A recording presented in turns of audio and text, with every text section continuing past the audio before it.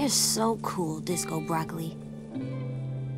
Like, the coolest. Even if I could eat you, I wouldn't do it. You're too cool.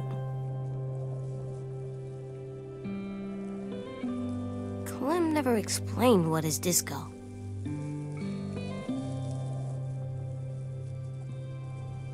Oh, I'm just getting myself hungry.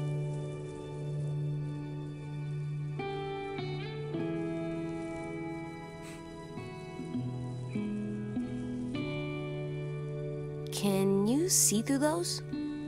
They look like glasses, but like bad. I bet you've seen a lot of things, huh?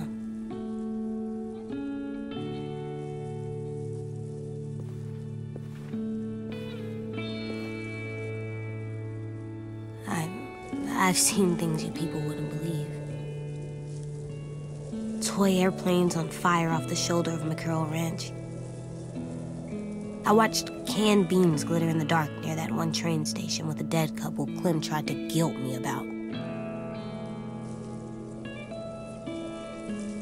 All those moments will be lost in time, like tears in Omar's stew.